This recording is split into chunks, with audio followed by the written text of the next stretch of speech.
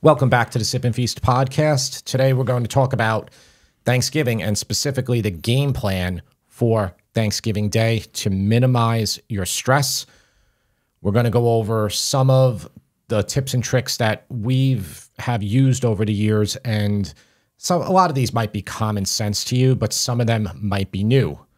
And we've hosted Thanksgiving more times than I even care to admit. And I might sound a little bit negative in my tone there, but You sound jaded. You sound bitter. I do sound jaded. It's it's because it's a tall task to have to host any holiday. But when it's holiday after holiday after holiday like like we do, it um it does come with some stress. you sound like you're upset with our siblings that they're not taking over. No, it's not that. And I do actually I do enjoy hosting. It is there is an element of fun, right? As Mary Poppins would say, there is an element of fun in it, but it does get to be stressful. So I think through the years of us hosting we have come up with some some tips. We don't just have tips for you as a host or hostess. We're also going to share some tips for you if you are going to be a guest. This is all coming from the perspective of us being the host. So the tips that we're going to give if you're a guest are going to be tips that can help you limit the stress of that host. I, I would I would This say. is a self-serving. yeah, a little self-serving. A little self-serving. but, But this podcast okay. is really for our family members, okay? no. we think this is going to help you though. I think we should get into it right now. Yeah, let's start. By the time this podcast airs, right? Thanksgiving's going to be about 10 days away. And before you get stressed, we want you to just take a breath and relax because it's going to be okay. Yeah. No, I mean it really will be. But I think I think some of these are really going to help you. This doesn't have to be a hard day at all. These tips really are geared more towards food and, and serving and, and that sort of thing. Um, we obviously can't share with you or give you tips on how to minimize the the stress that your your family members may bring along with them. So just keep that in mind. Yeah. That's a whole that's another podcast, probably not the Sip and Feast podcast. Yeah, have the wild turkey and uh, the cheap scotch in the other room for Uncle Bob. Or You mentioned Uncle Bob in the, pre- the previous. We don't have an. Uncle Bob, We so that's why I don't. could keep saying So one of our listeners who emails us regularly, his name is Bob, and he was like, "Jim, on behalf of IBS, the International Bob Society, Society. I take offense to what you said about Uncle Bob." He he said he agreed with what you said about Aunt Betty, though I don't remember what you said about Aunt Betty. Um, anyway, we don't have an Uncle Bob. That's just a fictional thing that that Jim came up with. What we're going to do is try and give you a timeline to follow, right? So by the time this podcast airs, when you start listening to this, it's going to be anywhere from 10 to 7 days before Thanksgiving. And one of the things or one of the first things that you should do is to decide on your menu, right? Try and get an outline for your menu, what you're going to serve. And the first thing to ask yourself is are you going to be doing a fresh or a frozen turkey if you are partaking in turkey? They are. uh, Let's assume that you are partaking in turkey, and if you are using a frozen turkey, and we'll go into it after, you're gonna have to give yourself a certain amount of time. You won't need ten days to defrost it unless you're using the largest turkey in your county. Okay, but it w- but it does take a lot of time. Yeah. And if you are using a frozen, you can get it now and then you can store it in your freezer. That way you've got that part out of the way. Yep. Um, there are some pros to using fresh, right? Fresh eliminates the need for thawing. And in your experience, Jim, Fresher better. it it tastes better. A- any meat you buy will be better when it's not frozen. That means steak, pork, turkey, whatever. But, you know, practicality, and we're all about practicality here at Sip and Feast, means that most people are going to be using a frozen turkey. We're using a frozen turkey this year. I have it defrosting right now in the Sip and Feast kitchen below. And that one I'm going to be um, shooting photos for a spatchcock turkey. If you do go with a frozen turkey and you're going to do a dry brine, you can you don't have to it doesn't have to be completely thawed. So you can that can give you a little bit of leeway there. I don't even recommend a wet brine. Nobody wet brines turkeys anymore. They really don't Okay. Yeah, I think we'll get into the we'll get into it the all brining later a little bit more. but yeah simply a fresh turkey is going to taste better. We did a fresh turkey last year i believe or two years ago. It was expensive. It was like a hundred dollar turkey. Uh, we drove out east in long island to a turkey farm but you know do either one is fine. And then after you decide if you're going to be using a frozen or fresh, you also have to figure out if you want to use a turkey breast, which could be a little bit easier. I prefer a turkey breast. Yeah. Definitely prefer the turkey breast, and most people prefer the turkey breast. You know, again, Uncle Bob probably wants the legs, okay? But for all intents and purposes, you're better off with a breast because they cook at different rates too. And you know, you want it, you got to cook the breast till till it's perfect, and then your dark meat will not be perfect. It will be undercooked. Mm-hmm. I mean, we're assuming that people are using a turkey, but then if you want another meat, there's other ones to consider as well. Yeah. And those are like ham, right? Or a pork loin. Those are both good. Yeah. And then if you're maybe having a smaller Thanksgiving, like maybe there's four of you, maybe you don't have the turkey, maybe do a roast chicken. definitely there, there's flexibility here. I do like the 12 pound turkey and a ham. I like that combo. Yeah. Because you buy the spiral ham, you could get it at Costco. You could also get your turkey at Costco. And the ham is just like foolproof. You just put it in the oven, put the glaze on, and it Yeah. ma- makes it a lot easier than working with like a 30 pound turkey. For sure. Okay. So once you've decided if you're going to have your turkey, decide on your side dishes. And I think it's a good idea to limit your sides. There's no need for 12 different side dishes. I would really try and narrow it down to between five and seven side dishes. I agree with that. And we went into the sides in the last episode. If you haven't, if for some reason you're here and you haven't listened to the previous episode, make sure to listen to that one because that really goes in depth about the sides. I really agree with Tara here. Five or seven is more than enough, especially if you're making this yourself. If again, if you have help and people are going to bring over stuff for you, then you can add a couple more to the list. Yeah. And that actually leads me into my next um my next item that you should be doing at the 7 to 10 day before mark and that's touching base with your guests, right? You want to check with them, make sure they're still coming, let them know what sides they can bring or desserts. Some there are some really good um there are some really good sides that can be outsourced. I think some of those include cranberry sauce, desserts, appetizers. those are all great. I would outsource them. And, you know, this is like, this could be a sense of stress here because, especially with certain family members, some of them might be very strong, uh, a strong personality and they don't want to be told what to bring. So you really got to take control here. It's your house.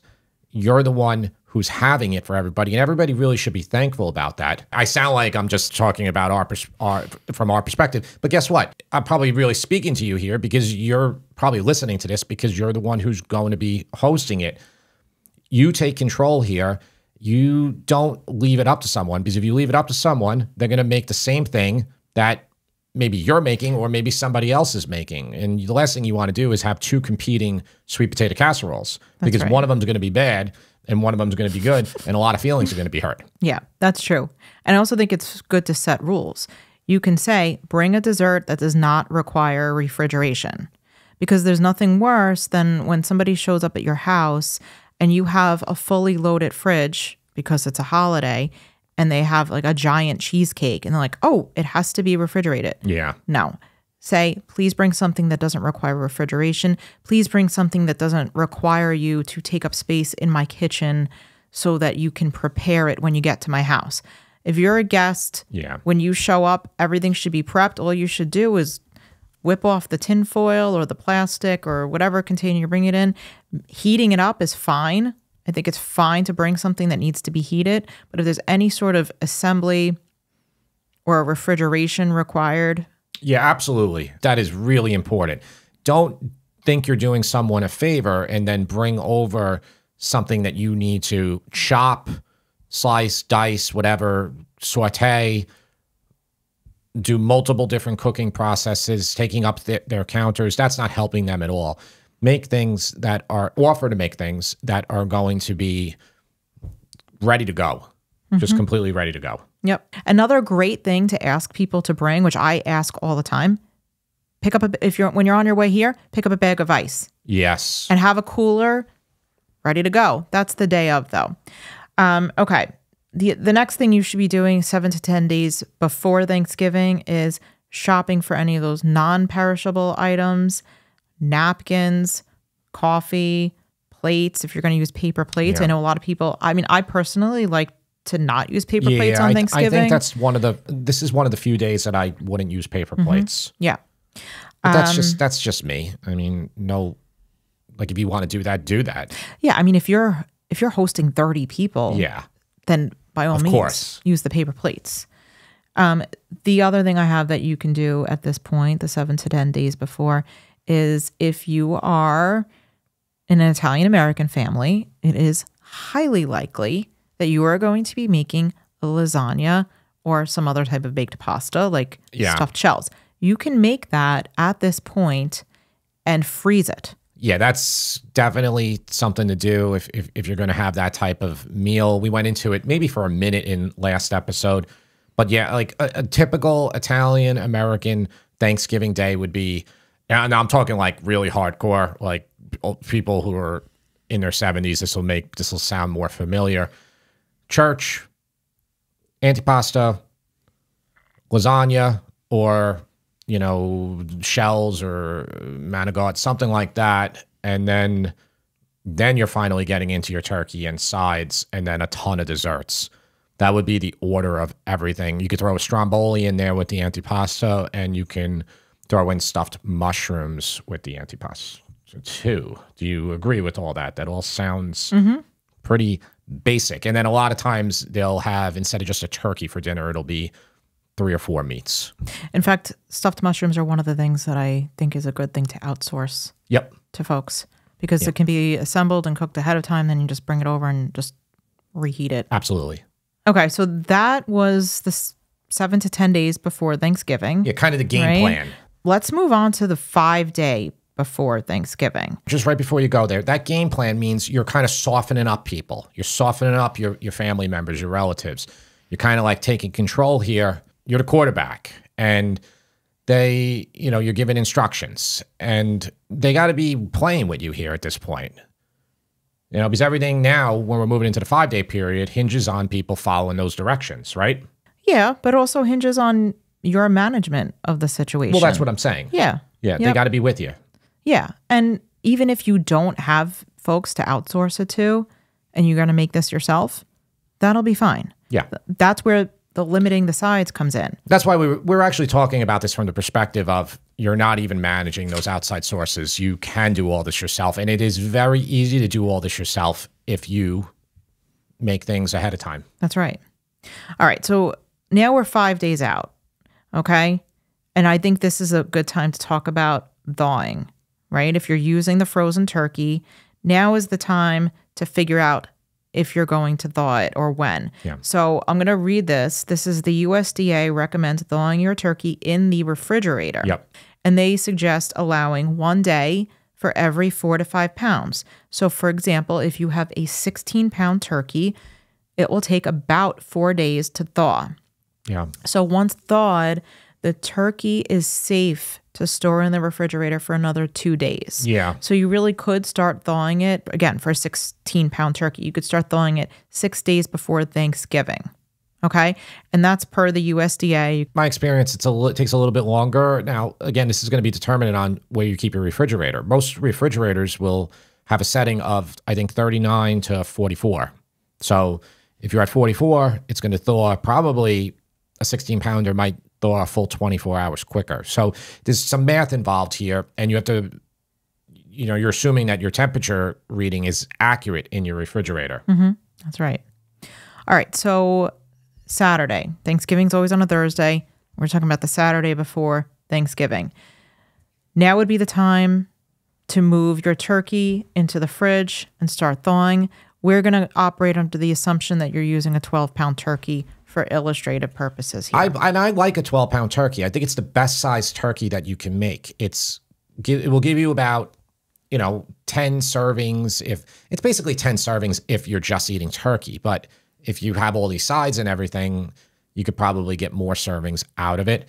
Especially you know if you're doing a ham, I think you could do a 12 pound turkey, you know, and a 10 pound ham or whatever, and pretty much serve 20 people. Don't quote me on that. You know, you can look at some guides online too that give you the exact numbers. But I would rather do rather do two 12 pound turkeys than do one 24 pound turkey. Mm-hmm. yeah, for sure. How I mean, it would take a long time for a 24 to. Well, it wouldn't take any longer. It's just that I get better cooking with a 12 pounder. I prefer to, if I'm going to do a whole turkey, I prefer to do a spatchcock mm-hmm. technique. That's when you cut the backbone out of it and you lay it flat. You get more even cooking. You can do a lot better. You get you get the thighs and the breast to cook closer together versus when you you know when you're doing a say you're doing you are doing a 24 pound turkey. You know you got the breast up there and you know it's getting more heat and then you got to start doing shenanigans like building a shield for for your breast and all, all these silly things that you don't want to be doing. If you spatchcock it and you flatten it, it's it's the best way. But you can't spatchcock a 24 pound turkey. Now I know you're going to say, Jim, I've spatchcock a 24 pound turkey all the time. I'm saying most people aren't going to do it. It won't.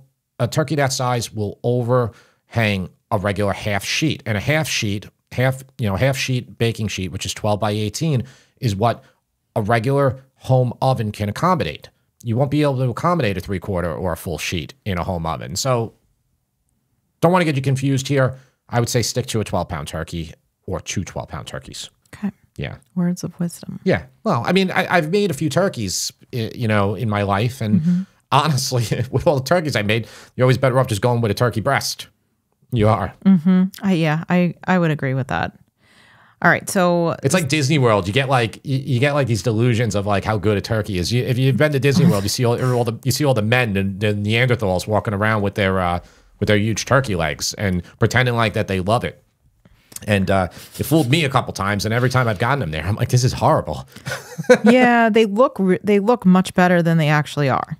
They're kind of like stringy and You think sinewy. they still have them there at Disney World? Oh, I I'm mean, sure. Okay, that was so long ago. yeah, yeah. it was. God, that was like 20 years ago that we that we went. Yeah, I always remember though, like uh, the, the the couple times I've been there, I always remember people walking around with those turkey legs. Mm-hmm. right, I digress. So the Sunday and Monday, I think those are the days to reserve for your grocery shopping. Groceries, liquor store, if you're picking up alcohol. Of course, they're going to be picking up alcohol. I mean, even if you don't drink alcohol, Even- some of your guests are going to be drinking alcohol. Yes, unless you can outsource that too. That's expensive outsource. That's a nice ask if somebody can, if somebody will do it for you. That's a good gift you can give to somebody too if you uh, really want to take a lot of the cost off of them. I think giving two days for grocery shopping is helpful because, in my experience, sometimes one grocery store doesn't have what you're looking for. So you sometimes have to go to multiple places. Oh yeah, And especially if you're going to go to Costco, that could be an all day event. Um, liquor store can, depending on where you where your closest liquor store is, that can also take a long time. So that's Yep. why I say give the two days. And that brings us to Tuesday. Tuesday would be a good day to start making your desserts, right? So if you're making any type of pie that requires you to make homemade dough, you can do that. And the dough can sometimes sit there for two days ahead of time. I know for our apple crostata, which is something that we make for Thanksgiving, that dough can sit for two days. that's two days in the fridge. You can it can mm. sit for months in the freezer. Yes, So, I'm yeah. talking about in the refrigerator. Yep. Because at this point, I don't think you really want to be freezing anything and then defrosting. I mean, if they're listening to this when when we when this airs, they could make the dough and then freeze it. They could make the dough at the seven to 10 day Yeah. mark, the same time that Yeah. they're making the lasagna and buying the frozen turkey. You would just thaw it then in your refrigerator and like take it out the morning of. You could take it out or the night before, and then you'll be able to work with it. Mm-hmm. So, also for Tuesday, if you're going to make a tiramisu, this would be a perfect time to do it. Tiramisu needs to sit for at least a day in the fridge, but is fine to sit for two days until Thanksgiving. So that's a big one. I don't really recommend you do. If you do that for, you know, you're going to someone's house, that would be a great gift to bring. Um, or somebody bringing it for you because that that is a little bit involved. Yeah, it's not a traditional Thanksgiving type of dessert, but I know a lot of people do Yeah. like to make it. Another thing you could do on the Tuesday is make the cranberry sauce and brine the turkey breast. Even the day before, you could brine the turkey breast uh, for a, a 12 pound turkey, uh, dry brine. And I only recommend dry brine. Uh, you only need about 16 hours for even 14 hours will be fine. I mean, I, I dry brine pork chops. I do two hours. Yeah. Well, all dry brine does is it just, you're getting salt. It's going inside there. It's osmosis. It basically will penetrate and it will, the juices will come up and it'll go back in. It'll just make your turkey juicier and it's already salted now. You don't have to do any salt when you roast it. A wet brine is something that uh, same principle, the way it works, but you know, if a turkey's big and then you have to get, say, like three mil thick garbage bags and put all your liquid in there with the bag, tie it, hope that nothing, uh, that it doesn't open, maybe stick it in some like 80 gallon cooler, and it just gets ridiculous. It's actually the first time and last time I ever did a wet brine for a turkey was probably uh, over 20 years ago. I was following an Alton Brown uh, recipe or vi- video he did on uh, Food Network. I would go out on a limb here and say Alton Brown does not wet brine his turkeys either anymore. You know, you always think that these people know everything. He was probably learning how to brine a turkey when he made that episode because now every single piece of bit of information tells you to dry brine your turkey, your pork chops, everything. Mm-hmm. It's just it's just so much easier. Yeah. So I, when I mentioned this, I said brine the turkey breast. I really meant t- if you're using a turkey breast or a turkey, so it could be for either. Yeah, now you could you could brine a turkey breast too. Just you this is really important to look out for. Most turkey breasts that you buy will already be pre-brined. You have to read the nutritional information. Now, meat itself, whether it's turkey, pork, beef, has a certain amount of sodium in it. It's a very minuscule amount, but you know, we all have sodium in us, all right? Animals have it. These ones will often say in an 8% solution containing X amount of sodium. You do not want to brine that. Then you will have an extremely overly salty uh, turkey. And by the way, uh, the amount percentage brine will be I mean, there's some recipes that are very popular, like big bloggers, where they're only brining at like a 0.25% amount of sodium per pound. So simply to do this math, uh, a pound is 454 grams. If you're working with, say, a 10 pound turkey, now you have 4,540 grams. If you take 1% of that, you will have roughly 45 grams of salt that you need. Okay, very simple math I'm doing here right now. tablespoon of salt, uh, regular uh, table salt is 20 grams. So you would need two and a half, roughly, or two and a quarter tablespoons of salt to brine at a 1% sodium level. Don't worry if you're not following along with everything here. It's everywhere on the internet, but there'll be books like there's books, some famous books that will tell you to brine at a one and a half percent sodium level. And then some will tell you like I said, some of those blogs to do at a very small level. My safe amount to do a turkey is about 1 to 1.25%. Again, that's just sodium level per pound. And that pound weight is including the bones of the bird. So it's very simple. It, I, did that, that confuse you? I mean, I, I'm sorry. Even if you can't, like, you know, like, Jim, you're talking too fast for me. Don't worry. It's all, it's all every, it's everywhere on the internet. You just have to understand. If you go at a one percent rate, chew the weight, and you you know, I think where it gets complicated, people think, oh, well, I got to factor in the weight of the bones. No, it's just a full weight of the bird. That's it. Okay. That's it. That was some Mr. Wizard type stuff right there. well, I mean, I, I've I've been doing this for a long time, so Yeah. like, it's not. You should know this. If you if you cook for a living, you you will know, or or you pretend to cook for a living, you will know uh, what you should be brining at. I'll you can overdo tru- it. You I'll can trust that. You can destroy stuff if you put too much salt on it. Oh, well, okay, so just be careful. Yeah. All right. So Wednesday, the day before, right? Wednesday morning or Wednesday during the day, you can start taking care of some of the side dishes, like the if you're making roasted vegetables, if you're doing a sweet potato casserole, if you're making stuffed mushrooms as an appetizer, cinnamon roasted butternut squash, stuffing, all of those things can be made Wednesday during the day Yes. and then refrigerate it. right? Definitely. Now, Everything can be made ahead of time, really, except for the Mm-hmm. turkey. I mean, and the turkey can be made ahead of time, but I don't recommend it. Wednesday night, set your table. That's going to eliminate one more thing for you to do on the day of Thanksgiving. So set get the table set and ready to go. Um, you can prep any sort of crudité, like raw vegetables that you're going to be serving. Maybe you're going to serve it with I don't know. We have a cannellini bean dip on the website. We've got Or spinach, spinach artichoke dip. Any kind of any kind of dip. Or if they're doing antipop, you know, like if they're doing olives, salami, if you're that doing stuff. that, Yeah. you can assemble that platter, that antipasto platter also. Just get it ready to go, cover it with some plastic wrap, Yeah. get it back in the fridge. very simple. If you are making the lasagna and if you made it the seven to 10 days and froze it, you should take it out and thaw it in the refrigerator at this point. They, you don't have to. You can you can bake it, but it will take probably three hours to bake. Versus if you thaw it, it will only take like an hour or an hour and twenty minutes. Mm-hmm. Yeah, so you can you can Yeah. get it in the oven, but it depends on on really Yeah. I think what your oven real estate is going to look like on Thanksgiving. So keep that in mind. The other thing I've got that you can do the night before, and this kind of goes back to when you plan your menu, if you're going to just serve wine and beer, that's great. But if you want to do something a little bit extra, I think making like a sangria or some type of punch is something that can be made in bulk and your guests can kind of just serve themselves is a great idea.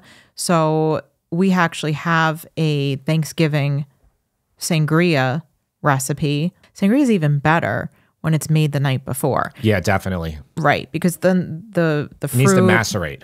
yes, the fruit kind of soaks up some of the alcohol. It it just it will taste so much better. That's what all Spanish restaurants do. They Mm-hmm. all they have it sitting. Yep. So I would say make the sangria with all of the ingredients except for the club soda, right? Because Yes. usually club soda or Sprite or some other type of um, effervescent beverage is added right before serving. Right before. Yeah. So make it, get it in the fridge. Just don't add the club soda yet. And that's that's everything you're going to want to do Wednesday night. Yeah, that sounds good to me. So then Thursday morning, it's the big day, right? Maybe you were up Big day. panicking, having heart palpitations in the middle of the night. Hopefully not, because All- hopefully you listened to us Yeah. and It's gonna be fine. And Uncle Bob and Uncle Rico Uncle and every- Rico? everybody else is gonna be. They're gonna be in the living room and. Napo- Napoleon Yeah. and Kip, They're gonna be watching the football game. All right. Uncle Rico. They're gonna be. That's where they're gonna be. Yeah. Uh, now I want to do my Napoleon Dynamite impersonation. You know, she saw uh, the guy who plays Uncle the Uncle Rico actor. Uh, do you know his name? Do you remember his name? Is it Jon Gries? I don't know. I was asking you. Yeah, because Tara saw him recently at uh, a Napoleon Dynamite read in that was Patchogue, right? Yeah. So the Patchogue Theater had a showing of Napoleon Dynamite, which I love. My sister and I both love the movie. Um, we're huge Napoleon dorks. And Definitely. we went, they showed the movie, so we got to watch it. And then um, Jon Heder, who plays Napoleon, Efren Ramirez, who plays Pedro, and I think it's Jon Gries who plays Uncle Rico. The three of them were there and they came out and they they talked to the audience. They took audience questions. It was really for maybe like an hour and a half that they were there. And it was so fun and so entertaining. But yeah, he's in White Lotus now. So he's like Yeah, Jonathan Gries. Jo- okay. Yeah. Yeah. Little side story there. Yeah, he's in he's in White Lotus. If you haven't seen White Lotus, great great show. Very odd show. Uh it's awesome. Waiting for season three. Yeah. All is- right. It's really good. Okay. So Thursday morning, right? So you've woken up, you've taken a deep breath, you're ready to get the day started. It's going to be a great day, right? Yeah, I mean, I think it's gonna be a great day. Okay. So, one thing you could do first thing Thursday morning when you get up, I do recommend getting up super early on Thanksgiving if you can, if you're hosting. You'll just feel better prepared. If you sleep a little too late, that's when the anxiety starts to creep in and you feel a little less in control, right? I- I'm I- speaking from personal experience. Well, I'm trying to yeah, I'm I think Tara's yeah, this is her experience. I'm always fine. okay, whatever.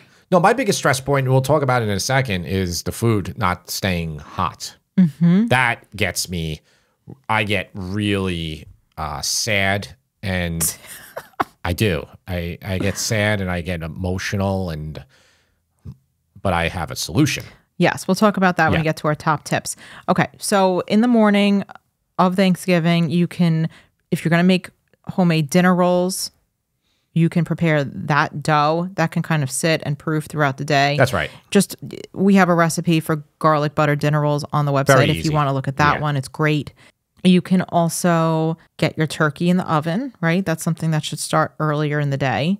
And you can boil your potatoes for mashed potatoes. I'm a firm believer that mashed potatoes should not be made a day ahead of time. They're best when they're made fresh, but boiling the potatoes will kind of give you a head start. If you make the mashed potatoes a day ahead of time, you know, I would at that point I would make like the old school um, Italian uh, potatoes where you mix the eggs in and the Parmesan cheese. Oh, it's more like a casserole? Yeah, so it's like a twice baked potato almost, and that's great. But no, make your mash. That is the one. Tara's right. That is the one thing besides the turkey that you should be making towards that point. Mm-hmm. As far as the dinner rolls go, you can make them the day before. So what you would do is you would just, you know, put your your water, your yeast, let it proof. Then you would just form your balls. You could do a second rise. You should do a second rise. You know, put a, a towel over them. And once they're where you like them, then you could just put park that in the fridge. And once you park it in the fridge, it's like you know you're cold fermenting it. First of all, it's going to improve the flavor a little bit, but it's just going to kind of stop the proofing process. The cold, uh, the cold temperature just really slows everything down. And then you could just take them out, and you don't even need to warm them up the next day. They can go straight into the oven from that point. That really easy. that wouldn't if if it's in like a baking dish, like a glass baking dish, would that create any type of thermal shock or something? Because I have heard of that happening. It's possible. I mean, so yeah, you, you know what? You might be right. Maybe warm it up a little bit, or just put them in a on a baking tray, mm-hmm. which, which is even easier. Which which is. So often how I'll bake them. Yeah. something that's not glass. yeah, yeah. Just an aluminum tray. Yeah. The other thing you should do in the morning is make sure you're, if you have a dishwasher, make sure it's emptied so that it's ready to accept all of the Definitely. dirty dishes that will be coming its way. I'm going to go out on a limb here and say that our advice here is better than any other podcast pre Thanksgiving piece of content in the world. That is a very bold statement. uh, you know why? It comes from decades of experience and decades of experience of do basically being the one who's always preparing the whole Thanksgiving. I mean, I'm trying to think when when our parents stopped doing it and it became us. It's So- it's been so many years. so every year my mom wants to have Thanksgiving. Yeah. And I feel bad. She does. She lives in Pennsylvania. Yeah. She wants to host it. It's just it's hard for us to take a trip to Pennsylvania when the kids have Yeah. school and so that's why we wind up hosting it every year. It's not for true. her lack of No, I know that. offering. If you recall, I think it was our first Thanksgiving when we moved back from Minnesota. We did go to my mom's Yeah. for Thanksgiving. But we were doing even in the early 2000s we were still doing the Thanksgiving at our place. Yeah, I remember being pregnant and hosting Thanksgiving, Yeah. like pregnant with Sam. So I think we've been doing Thanksgiving for probably almost 20 years. I And mean, I- she's she's Yeah. 15, but Because I remember clearly there was, and I think I said this in a previous episode, that place that didn't deliver the turkey. Remember we got a fried turkey and then they didn't deliver? that's right. Yeah. So I know, and that was like circa 2006 Mm-hmm. or something. Yeah. So that's a Yeah. long. It's it's it's been it's been a long time. That was in 2011. Oh, 2011. Okay, I'm way off. Yeah. Yeah, this place, I think they're out of business now. Uh, they would they got on local TV and they do fried turkeys. This was a place in Brooklyn, and they happily took our money and everybody else's money, probably over a thousand orders, and they didn't deliver. That's they right. Deliver. So people were not. People were so mad. I was. I was furious because, you know, it was a lot of money. First of all, it was like a very expensive turkey Yeah. and they didn't deliver it. And then I uh, wrote like I've never wrote a negative review in my life of anything. Mm-hmm. Like that's why I always like laugh when I get people on YouTube telling me that like I should die and everything. Like and like I'm the worst cook ever. It's just like, but this one was justified of me giving this negative review, and I did it on Yelp because I don't even think Google reviews was a thing yet. I don't think so. And Yelp deleted my comment, and apparently Yelp deleted another thousand comments because we all put a bad comment because none of us got our turkey delivered. We all did it at the same time. And they were saying that their algorithm to prevent other businesses from, you know, writing a negative Yeah. mass negative reviews for another establishment. The problem is in that in that instance, it was 100% justified. So I did a chargeback, and so did another thousand people, and I think that's what precipitated them uh, going out of business. Because if you get too many chargebacks on a merchant account, you are finito. Yeah. Goodbye, done, and you. There's something. I mean, you know, if, you, if you're a business owner, you know what I'm talking about. You do not want chargebacks. It's a shame because the company probably it did make a good turkey. They probably didn't account for the growth that they would be experiencing following I, I forget what what show they were on that that kind of It was like local, propelled like them. Fox Five or something yeah like so that. they were just not prepared for that and yet they still took orders they really should have just shut the system down but i will give a shout out to zorns yes. in farmingdale who which I think is still around. they are Yep. zorns is like a Yeah. staple Yeah. in farmingdale Yeah, you can get that, all that area you can get all of your Thanksgiving yes turkey, chicken, sides, whatever. But they had fresh turkeys Yeah. and they were open Thanksgiving morning. So that's where I went, That's right. picked up the fresh turkey, and Zorns saved Thanksgiving. Yeah, it's so funny. I totally forgot about that place, but uh, yeah, that's like an institution over there. It is. Yeah. It is. So, right as your guests start to arrive, that's when you want to, if you're making the sangria, you want to add the club soda. Maybe you want to serve it in a little punch bowl or a pitcher or even those, uh, you know, those beverage dispensers with like the little I like those. little nozzle. Yeah. Those are good because then people can just Yep. get some ice and they can serve themselves. Um, you'll put out the appetizers and greet your guests. Right? That's right. You have Stromboli there. That would be nice. Yes, that's something definitely consider outsourcing. Just Yeah. be like, hey, Aunt Betty, Uncle Bob, I'm Make using the your words. make the Stromboli. Can you please make a stromboli and bring it over, and then just pop it in the oven for a few minutes? and- Or buy a Stromboli. They Yeah. can buy one from uh, numerous places. So, right before dinner, you want to start to finish your mashed potatoes, right? So that they're nice and creamy Yeah. and ready to go. Because, like we said, if you kind of make them too far in advance, Yeah. they can get gluey and just I recommend a ricer. It's the way to do it. Uh, you don't have to though. You could just do a, a rough rustic mash with a potato masher, which is easy. yes. And check out the recipe on our site for roasted garlic mashed potatoes.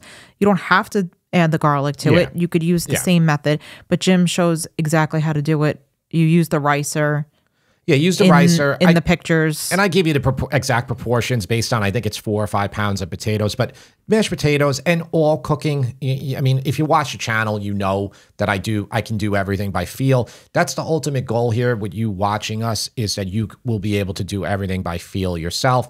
You'll be able to commit certain things to memory the more you cook. Like you'll know, oh, a dry brine should be one percent or one point two five percent of weight. You'll eventually know all this stuff but yeah, when it comes to the mashed potatoes, you'll know, okay, oh, you know, this recipe says this much butter, but it's just, it's not good enough yet. I'm going to add another couple tablespoons of butter. I'm going to put some more milk in this or some cream or more salt, obviously. So mm. that's, that's going to be all you to get them to taste perfect. That's right. All right. The other thing you can do right before dinner is if you made the dinner rolls, I would say bake the dinner rolls because those are really good when they're fresh out of the oven and warm. And Jim, when you pull the turkey out, what are you going to do with all the turkey drippings? Yeah, so the turkey drippings obviously save. You can make your gravy. If you do a spatchcock turkey, you'll be able to have the backbone. Uh, turkeys will most mostly will always come with the giblets, uh, so you can make gravy out of that as well. You can use the neck with a regular turkey, especially if you're doing a larger turkey. And say you're doing a whole turkey and you, you know you didn't spatchcock it, and you're in a big baking uh, pan, you know, like roasting pan, you will have so much. So you can get a lot of the fat out, and then you can just make a simple gravy where you could just do a roux. You can do a roux with some of that fat that you took out and flour, okay, and then just you could cook it for a minute that flour, or you could cook it for like ten minutes to get get some color on that, almost like you know like you're doing a gumbo, and then you add your drippings back in there. You can supplement with chicken stock if you don't have enough. I like to put a little white wine in my gravy. I like to put sage, salt, pepper. Sometimes I'll do some shallots, sometimes some onion. Really, really simple. Uh, the the thickness level is just going to be dependent on on your flour. And if you say like you do your roux and you're like, oh, it's not thick enough and it's ruined, it's not ruined. Just take some of that gravy out, put it in a cup, mix some, whisk some flour into it some more, pour it right back in, boil it, and uh, and you're set. Flour is a better thickener, in my opinion, for a traditional gravy than cornstarch. Cornstarch is has a, is a stronger thickener. It's about double the strength of flour, and it's good and it's easy and it will give a kind of like a, a shiny, silky appearance almost mm-hmm. to your gravy. Kind of like when you know when you go to a Chinese restaurant and everything they use cornstarch on everything. So, but then if you notice whenever you reheat the Chinese food, the gravy, the sauce will be thin mm. because it, you don't get a second reheat with cornstarch. Mm, that's a good point. With flour, you do. So, but flour will have a duller appearance. And flour takes about three, four minutes for it to hydrate enough when you're making the gravy for the thickening to start. Cornstarch will just thicken kind of right away. Once the bubbles start, it will start thickening. That's true. Yeah, you can use other thickeners too, like potato starch and arrowroot and oh god, I don't know. There's there's other ones to do, but traditionally it's flour mm-hmm. and then cornstarch would be secondary. So after dinner is over, I'm going to give a piece of advice here that I don't ever take myself, and I probably will try and take it this year a lot of times a guest will offer to do the dishes. And I'm like, no, don't worry about it. I'll do it. And I stand there and wash dishes and get them in the dishwasher because I'm like anal retentive and I want stuff done the way I want it done. But that is a good thing to outsource and it allows you to kind of start to get things ready for dessert if if you have a guest help with the dishes. So I encourage you to be a little more hands off with the dishes if someone offers. Yeah, I think it's a good idea. Uh, it's honestly, it's something we struggle with with our kids, and I think a lot of parents do.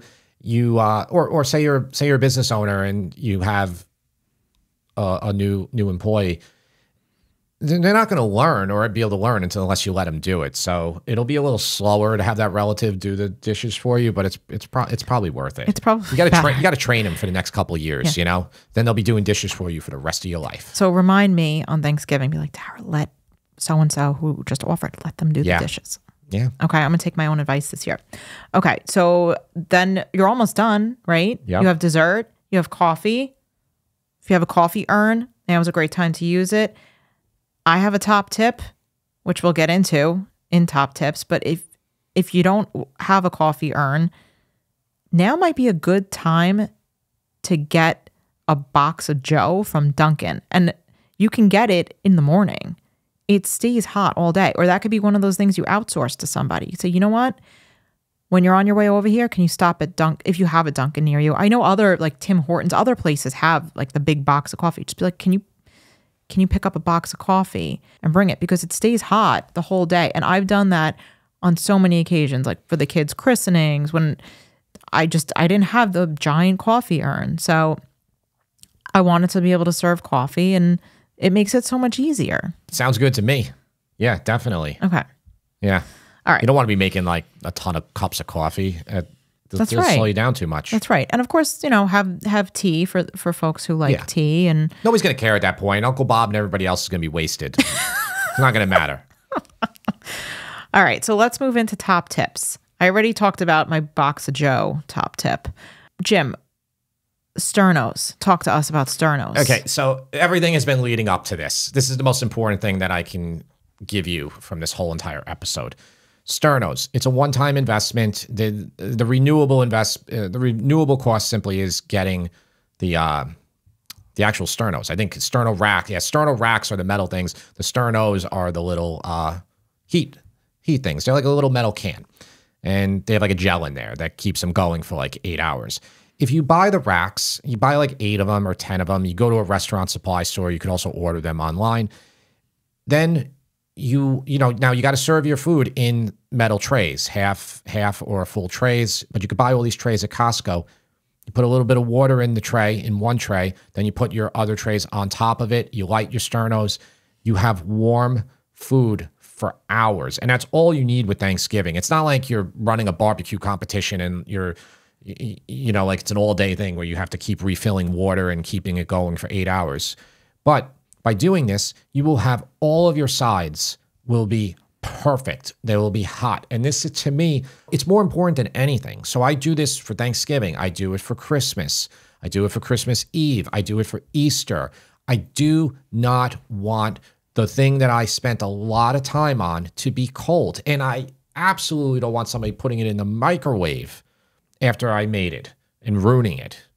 Think about it. Mm-hmm. Now, if you have the, like the downside to sternos, which I agree with you, I think sternos are great, especially if you're having, you know, 10 plus people. The downside to sternos is that if you're looking to have that, like, you know, Instagrammable, fancy Thanksgiving table with everything in your Le, Le Creuset casserole dishes that looks really pretty, like sternos don't look pretty. Yeah, but that's impossible. That's all a lie. See, that's like I'm you just know, saying, but that's the downside. You're you're you're listening to this. You're you, you know I, I know I know you cook. You you you know and I know that that's all a lie. You're not going to be able to have the food hot for and, and especially to get everything out at the same time and then to get nice pictures and then get Uncle Bob to the table because he's doing a keg stand or something in the backyard, you know, like and then and got all the got all the youngins watching him, you know, like it's just it's not going to happen. So the Sternos will give everybody now can get their plates at their leisure. You know, I'm still thinking, thinking of Uncle Bob. I'm just going with Uncle Bob permanently, just so I don't have to, uh, you know, slip or anything. This is no offense to to the Bobs of the world. no, no offense to to the good Bobs out there, and yeah, that- that's it. It's just it's just a name that comes to me easy. Did you have any more you wanted to say about sternos? Our daughter just got off the bus, so that's gave us a little intermission here. Which our daughter, who you never see, okay, but she's she was actually was wasn't she in an episode? Oh, she was in a Patreon episode, right? The Picky Eater Patreon episode. Mm-hmm. Yep. Yeah. subscribe to our Patreon.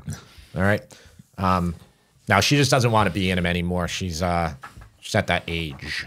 The only thing about them, the negative about sternos would be you would have to have a place to store them. I think the best place to put them is in, say, like a basement or a garage. And they do stack. The racks stack. stack, on top of each other. They're so that's good. Yeah, Costco doesn't sell the sterno racks. They sell the trays. Mm-hmm. I feel like in the past they did. Restaurant Depot and any restaurant supply store will sell all of it. Yeah, I think party supply stores And party it too. supply stores too. Mm-hmm. Yeah. Yeah. Okay, so sternos, that was a top tip. I already talked about getting the box of coffee. Let me just say one more thing. I'm sorry. Okay. You will never be able to get that Instagrammable shot and have good food. I can't say never. It will be almost impossible. It, it's really hard. Something will be cold, or more than likely, a lot of things will be cold. Sternos prevent that. Mm-hmm. I agree. If you're opposed to it, you're opposed to it. I, I get it. I mean, I know it's not for everyone. All right, so we talked about sternos. I already talked about the top tip of getting a box of Joe from Dunkin'. Yep. Or some other box of coffee. Um, the other tip is have coolers ready to go in your house so that if somebody does show up with something that requires refrigeration, you can pop it in a cooler. A cooler is also a great place to just store your beer and your wine for people that Yeah. are that are coming. That way they're not going into the fridge and taking things Definitely in and out. And depending on depending on where you live, uh, if you like, you know, we live in New York, and some some Thanksgivings will be 25 degrees outside, and that means that all the beer and wine and even the turkey could go outside. And, but then some years it'll be 65 degrees. Yeah, you never know what you're Yeah, going to get you don't here. know. Yep. And then the final tip, which I did already talk about before, was if you want to have like a fancy cocktail, serve serve something that's like a big batch drink, like a Definitely. sangria or a punch. Or just a bottle, like get a couple bottles of wild turkey, you, you know, for for Bob. And Have you ever had wild turkey? No, you know, the only reason I'm even saying it is your, your uncle Chris would always have wild turkey at his house. He would? Yeah, he would always have wild turkey. And I remember him and like Larry and like Timmy would always be like, "Oh, don't let somebody have too much wild turkey tonight." You really don't remember it? I don't It's remember happened- wild turkey. I remember my uncle Larry would have Strega, which is an Italian No, uh, liqueur. no, the wild turkey. I don't remember wild turkey. It's funny. I know more about this with her family members than she does because I was probably the one who was over there with with them. You know. Well, with the guys. yeah. Yeah. Moving on, those that's kind of the game plan. I do have some tips for being a good guest, Yeah. Okay. right? From the words of a hostess. So it can be kind of frustrating when a guest brings something that requires them to take up space in the kitchen to prep and cook. So if you want to be helpful, bring something that's already fully assembled and ready to go with maybe warming up in the oven or the microwave being like the only thing that they have to do with it. Um, here are some good make and what am I calling these? Make and take dishes, salads, charcuterie or antipasto platters that you've already assembled. Stuffed mushrooms, cannellini bean dip, spinach artichoke dip, stromboli, taralli, shrimp cocktail. Those are all great things for you to bring Yeah. fully made, fully assembled to someone else's home that won't frustrate the hostess. Again, try and bring desserts that don't require refrigeration. If you do, and they don't have room in the fridge, your dessert might not might not make Yeah. it there. Um, and then as far as host and hostess gifts, it's really lovely when someone brings you a gift like a bouquet of flowers or something like that. But when you bring someone a bouquet of flowers, what does that do? That stops them from doing whatever it is that they're doing in the kitchen or entertaining guests, greeting guests, getting them drinks, etc. It forces them to find a vase, maybe cut some stems, put those things in flat in in what put the flowers in water, and find a place to put it. So instead of doing a really nice gesture and bringing flowers, which I think on any other occasion is Yeah. a lovely gift. It is a nice gesture, but I get I get what you're saying. But it's something that can be you mean well, but it you're creating more work for someone who's already incredibly busy trying to Can I- run a whole dinner. Can I just tell a story about the, the, what my uncle did to me that gave me the most work ever? yes. I know he's not listening to this. So we had a Memorial Day party here, you know, over the summer. This was the most recent Memorial Day. And he came to the house and he said, Jimmy, uh, he said, I got the keg for you. I said, I got the keg uh, that your cousin got for you. So I said, I have no idea what you're talking about, Charlie. And he said, uh, he said, it's in my trunk. He has like a Kia, something like an SUV. And he opens it, and I'm like, okay, it's gonna be like one of those little tiny, like Heineken, you know, like 10 beer Mini kegs, keg, mini yeah. keg, like tiny kegs. It's a full size keg, which weighs like 190 pounds. He's like, oh, he said, can you get it out? I'm like, oh my god, you know, like, what? Are you, like, this isn't college anymore. Like, I'm not, I'm gonna have a hernia. And so, so I summoned like the dad strength that I had, and I ripped the keg out of there, and uh, I put it in my wheelbarrow. And I wheeled it all the way to the back. And I was just like, you know, again, Tara's talking about like giving somebody, you know, flowers, giving him trouble. My cousin comes there. I'm like, Jeff, I got the keg. I'm like, thank you. You know, I was, I, but I wasn't like happy about it. I was like, thanks. It was like only like 25 people there. And uh, he, he didn't even know what I was talking about. So like 30 minutes later, Charlie's like, Jeff, I picked up the keg from uh, from the beer distributor. Jeff's like, huh? And then he goes into like where we have it. He's like, oh my God. He's like, I didn't mean for you to get me a keg. He's like, I was joking with you, Charlie. He's like, how do they even sell you a keg? He's like, I just told him I'm here to get the keg for Jeff. So anyway, long story short, the beer distributor came back, picked up the keg. We told him we didn't drink any of it, even though it was tapped for like a couple couple beers. And uh, that's the end of it. I can't believe I was able to move that thing. Yeah. Yeah. So I mean, I moved that thing from the front yard all the way to the back. so long story short, don't buy anybody a keg. Don't bring a unless they ask for it. All right, let's move on. That was actually one of the funniest things. yeah. That it was just a joke. What are the chances that the beer distributor would have a keg for a Jeff and they would just like a- give it well, to they have whoever picked it up? Beer distributors have like 80 kegs ready to Yeah, go. So yeah. that that's the thing. It wasn't even like a good beer. It was like Bud It was like Light. Miller Lite. But the, and then the guy who came from the beer distributor to get it, it's this young kid, he's like 20. He got the keg. He had this special uh, dolly that's a keg dolly. So, you know, if you work in bars, you'll know it has like a hook So because you put it on there, put it on the dolly, and you know it'll just spin off, but it hooks onto the handle, so it can't spin. So he just like put it on there and wheeled it out. I was like, oh god, I'm like, I wish I had that. I was like, I put that thing in the wheelbarrow. I was, oh, I was worried about you. I'm, I thought you were I'm like not feeling good even thinking about lifting that thing right now. Oh God. I used to be strong when I was young. I, was, I used to work out a lot, but uh, not anymore. Okay, not anymore. I just turned 45. I'm old. Okay, so we are going to move into questions, but before we do that, Jim, anything you want to add to the Thanksgiving game plan? Don't buy a keg and get Sternos. Yeah, but anything beyond what we already talked about? I think I went over everything. I didn't really talk about how to cook a turkey, and I, I, did say quickly that spatchcock is the way to go. If, regardless of which way you do, if you cook a turkey, you're never going to have properly cooked white meat and dark meat at the same time. It's actually impossible. It's an impossibility. So dark meat is always better at 185, 190 because the connective tissue starts to break down. It just gets more tender. It's easier to eat. It's moister. It's it's just a better experience. But you can't cook your turkey to 185 because then the white meat, which is what everybody's there for anyway, will be cardboard.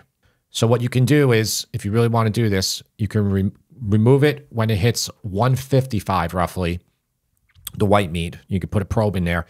You can remove the breasts, carve, you know, take them off, tent them. Then you can throw all the dark meat back in, put a thermometer in, like the thickest part of the leg or whatever, and get it to 180, 185, and it will be a much better experience. That's that's a tip. There's nothing revolutionary about this tip. Other people have no doubt come to the same conclusion that you have to do this. Mm-hmm. It's it's all it's I'm sure it's all over different recipe sites that are telling you how to optimally cook a turkey. All right, Jim, let's move into questions. Question time.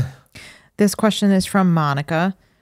Monica says, Why does chicken cacciatore recipe call for white wine when it's cooked in a red tomato sauce? Have you ever used red wine with this recipe? Also, I have seen other recipes coat their chicken in flour before frying. Have you cooked it this way?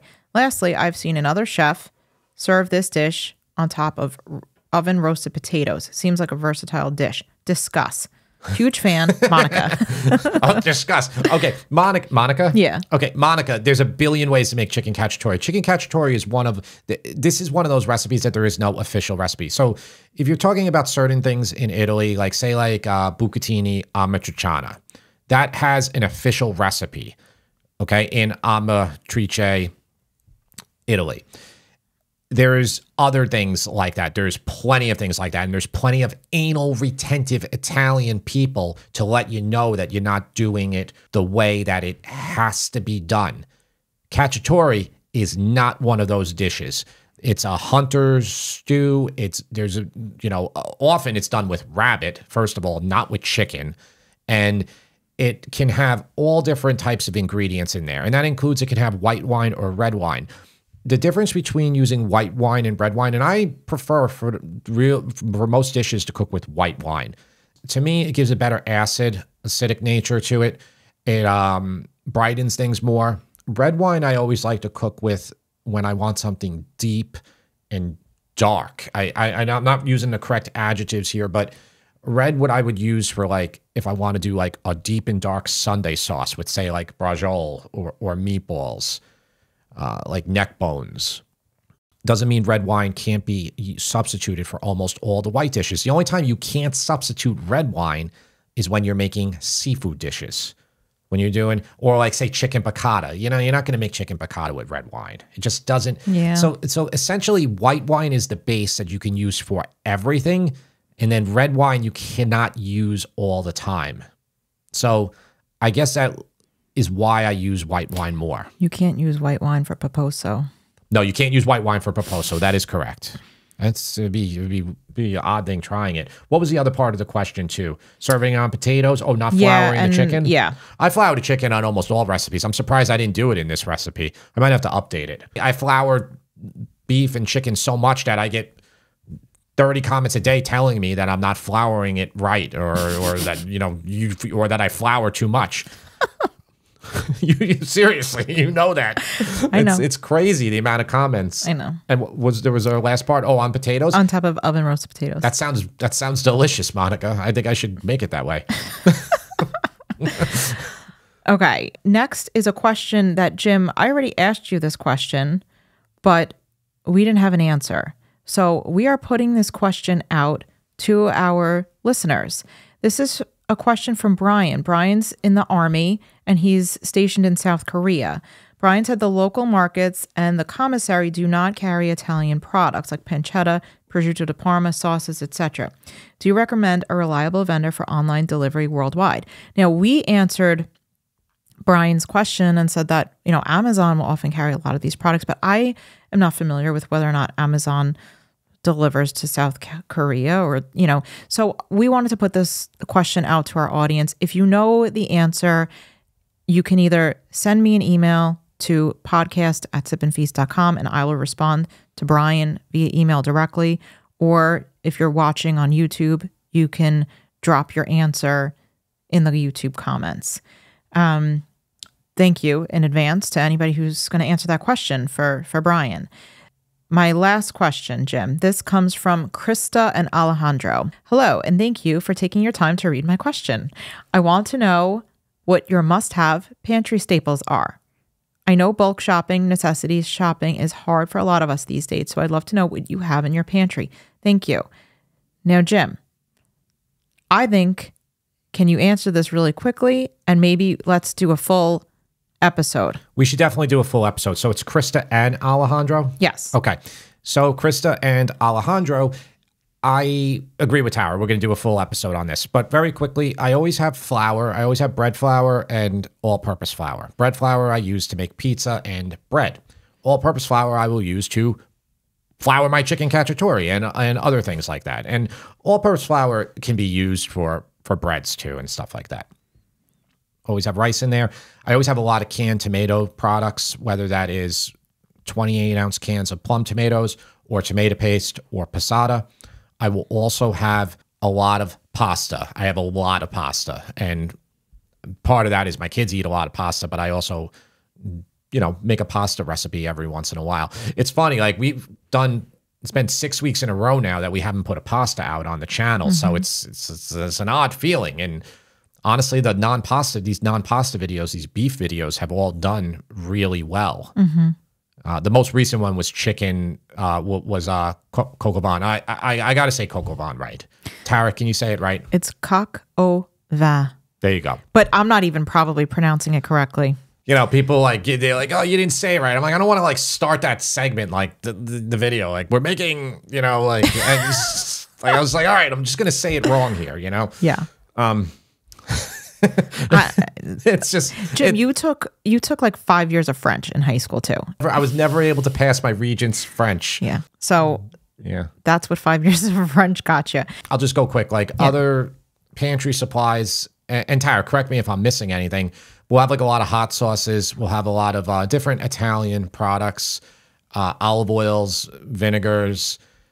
Big. I always have a big jug of red wine vinegar, big jug of white vinegar because those are versatile products. Uh, Calabrian chili, different jars of them. Uh, polenta. Cannellini beans. Yeah, lots of beans. Lentils and split peas because those are all shelf stable and we do use those quite a bit. And those can be used chickpeas too. We can use those in a pinch to throw together with a pasta. That's right. So I, I do the dried bag uh, beans, but also we have a lot of the cans. The cans are just super useful when you want to make a 30 minute meal, Mm-hmm. which is just entirely impossible if you're using, you know, dried beans.